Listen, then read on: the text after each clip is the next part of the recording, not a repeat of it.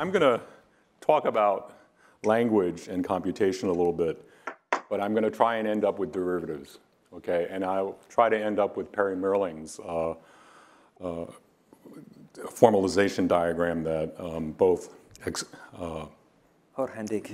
Jorge and Dick talked about. Uh, this course called the Economics of Banking and Finance is the, the most popular economics course on Coursera.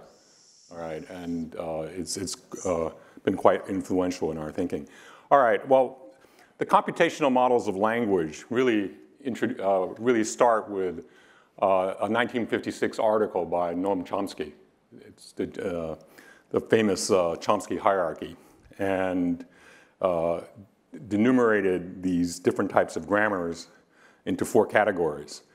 I won't go into them. most of you probably know about this material. But uh, at that time, uh, Chomsky's uh, particular type of grammar was a phrase structure grammar and um, categorical grammar. And um, it was a constituency grammar. It was basically modeled on uh, subject-predicate uh, structure of sentences and divided sentences, a sentence into a noun phrase and a verb phrase, and furthermore, subgrammatical categories, ending up with a lexicon. Basically, a, a, a set of words, all right? And the idea was that everybody had the same grammar. And you just then adjusted it to the moment of speaking, all right? So this is a kind of a top-down model, all right? What we're going to propose is that the types of protocols that uh, ECSA is proposing in Gravity deal with distributed networks, and they actually work on a different model. And some of you will know uh, one formal variant of those models are uh, things called Montague grammars. Okay? Montague grammars were use Kripke semantics, Kripke's work on modal logic, to try and deal with reference shift. And things like uh, indexical elements, the pragmatic elements of language like tense, uh, first and second pro pronouns, but not third person pronouns, words like this and that shift reference with every moment of speaking. And they produce lots and lots of problems for logics. Okay, so this was, I won't go into that. That's Frege's you know, great discovery, how to deal with it with sense and reference. But we're basically proposing that instead of a centralized top-down model, what you want to deal with with distributed networks to, re, to reach, you might say, their imminent social potential is to start from pragmatic indexical speech events and build up. So it's a kind of, instead of disintermediation, as John has been said, is sort of remediation from kind of a peer-to-peer -peer model from the bottom up. And this leads to a different notion of language. And that's what's been called a metapragmatic grammar, because the pragmatic elements of language, like deictics and tense, those are pragmatic, any coordination of them has to be a meta-language, and it's called metapragmatics. Okay, so that's the material I'm going to go through. All right. A metapragmatic grammar has a different starting point, as I said. Instead of starting with the program inside of a centralized computer, imagine a distributed network of computers who talk to one another. The analogy to language, agents talking to one another and making offers and other ages accepting them is exactly the heart of gravity. Given that any speech event occurs in a particular time and place, its meaning must be at least partially determined by the moment and context of speaking, and these will shift. All right. So from the unbounded class of all possible utterances and speech events, the real question is how do you coordinate them so that anybody speaking the same language has the ability to interpret all the utterances. Okay, that's the, that's the problem. Since this coordinates pragmatic linguistic elements, we call this a metapragmatic grammar. What gravity does as a distributed protocol is define what well-formed formed utterances are, their uptake and interpretation, and orders discrete call them utterances, uh, that is offers and acceptances, into a time series defined by their causal dependencies. And actually, the model of that is the netting and clearing model that you saw earlier that Dick showed.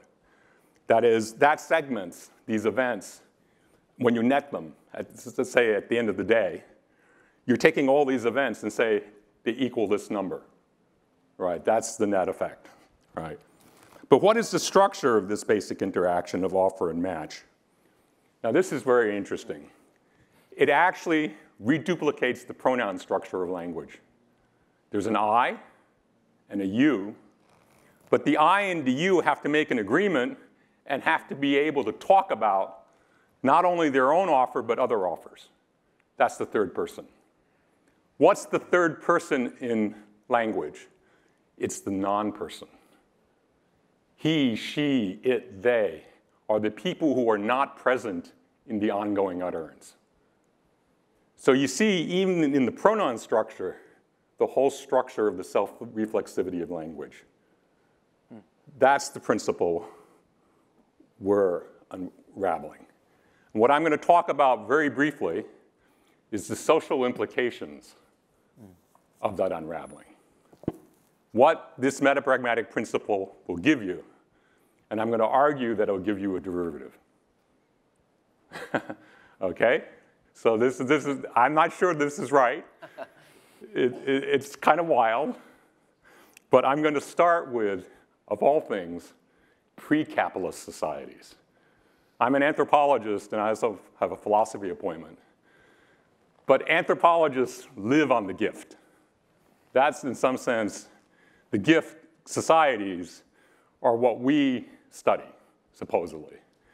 And gift societies are usually defined in terms of pre-capitalist and basically very primitive forms or none at all of money. All right. I want to argue that the gift counter gift relationship is actually a derivative relationship. Okay. Now, what's the gift counter gift relationship? All right. The history of this is kind of interesting. It starts with Lévi-Strauss, and it's about the exchange of women. And there are wife givers and wife receivers among these societies. They were usually uh, Australian Aborigine societies, and they were maintained by the incest taboo. This is uh, Lévi-Strauss in the 1950s. But the big idea was that this notion of exchange could redefine societies into, di into different typologies. You wouldn't, for instance, do what the British did was follow descent lines.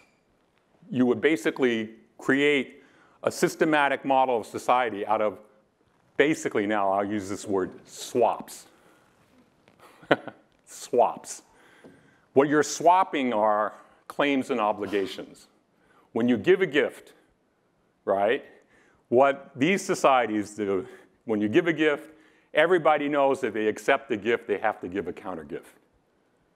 If I take your daughter, I'm going to have to give my daughter maybe another generation later, and maybe with a dowry. Between those intervals, anything can happen. So there's a lot of volatility. You already see what's happening, right? Social volatility before expiration.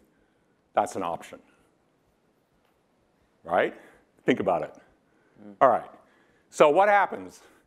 These people, these different lineages, will develop gift relationships with all sorts of other clans and build basically a portfolio of claims and obligations determined by the volatility to expiration.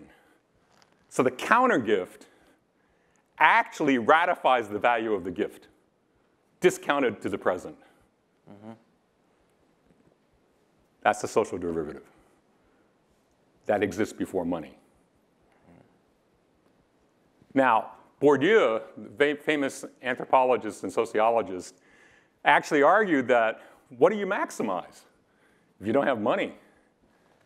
And he said, you maximize things like honor, fame, face. All these qualitative intensities and affects. The exact thing that behavioral science relegates to a separate corner into uh, system one in Kahneman's terms. All right. So what I wanted to indicate was that in fact, the gift and countergift is a volatility instrument. It's not a directional instrument. And one of the big things that you learn in derivative finance is that it's commonly misunderstood what options really are. And I'll just read you an interesting quote by a guy named Salih Neftci, who was a quant. Um, let's see if I have this. And you'll begin to see why the significance of volatility will be. And I'll try to derive volatility out of, and this is what Perry says, all of banking, it simply is, it's a swap of IOUs, the swap of credit. All of money base, is basically a derivative finance. So I'll just give you uh, Perry's quote. Perfect. He says, and then I'll give the analysis and I'll end. The place where money meets finance is in a kind of financial derivative called a swap since all banking is essentially a swap of IOUs. But I already said, claims and obligations, you just replace the, with assets and liabilities. And you can see it's the same argument, except you don't have a quantitatively ratio scale like money. You have qualitative intensities. But what are qualitative intensities? You know that this gives me more honor than something else. You just can't say, this gives me twice as much honor as something else. All right. All right, so let me just uh, uh, read this last quote by Salih, and then we can have discussion about this later. Yeah. In the traditional textbooks approach, options are introduced as directional instruments. This is not how market professionals think of options. In most textbooks, a call option becomes in the money and hence profitable if the underlying price increases and directly associating it with a bullish view. The treatment of put options is similar. Puts are seen as appropriate from an investor who thinks the price is going to decrease. For an end investor or retail client, such directional motivations for options may be natural. But looking at options this way is misleading if we are concerned with the interbank or interdealer market. In fact, motivating options as directional instruments will disguise the fundamental aspect of these instruments, mm. namely that options are tools for trading volatility. Anytime you have an agreement about price, you're actually picking the bid and ask from a volatility spread. That is the alternative prices that could have satisfied so inherently, a contract is a volatility instrument. Mm.